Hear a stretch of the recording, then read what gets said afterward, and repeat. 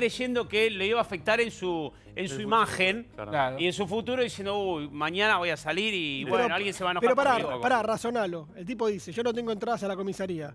Habrá- me van a dar pelea en Rinia. Eh, salgo... ¿Cómo vas a ver un pibe de 20 años la palabra pelea en ring? Eh, le dijo el El abogado. abogado. El abogado le habrá dicho, vos no tenés antecedentes, pelea en Rinia. Es lo que en se decía en un principio. Claro. Iba a Tanta- ser- tanto la optimismo para salir. pelea en Qué inteligente para, para- para algunas cosas y tan boludo para otras.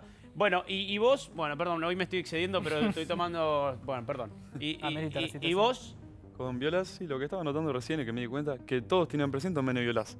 Se lo cortaron cuando entró conmigo. Tipo, yo no entendía, tampoco sabía que era uno de los chicos esto. Me metieron en la pieza, primero entré solo.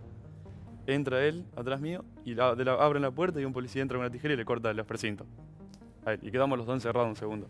Después entran los otros dos chicos. vos hablaste ahí. Ahí nos quedamos callados, nadie habló nada. Entraron, nos dijeron de la foto, todo. Y después, me pidió- cuando me pidió disculpas, y empezamos a charlar. Perdón, Me dijo- ¿juntos y solos?